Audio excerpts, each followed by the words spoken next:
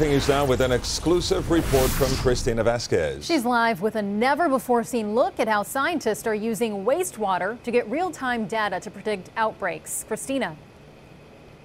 We are talking about wastewater epidemiology and the infectious disease experts I have checked in this. They say that this is an innovative strategy that really helps them predict any kind of upcoming spikes that also informs policy.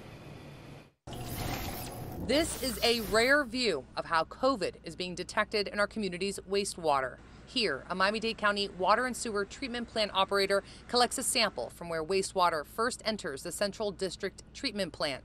Next, an environmental lab technician prepares the samples to be sent to BioBot, a MIT spinoff, which analyzes it to detect COVID, data that can help predict outbreak. Here's Department Director Roy Coley. The prediction, the laboratory says that the population that the sample represents uh, will result in new cases of COVID a day. Samples, a department spokesperson explained, are also provided to the University of Miami, where researchers there, they said, detected Omicron in the wastewater earlier this month. We share that information with uh, our own county emergency management, and we allow all the medical experts to uh, have the benefit of that. Been absolutely critical. It's given us a heads up uh, when new variants are in our community. FIU infectious disease expert Dr. Eileen Marty said this wastewater surveillance process serves as an early warning system. Makes us aware of who's likely to be coming to the hospital and gives us a, a concept of the likely numbers that we can expect. Especially important given how much scientists are still trying to learn about Omicron.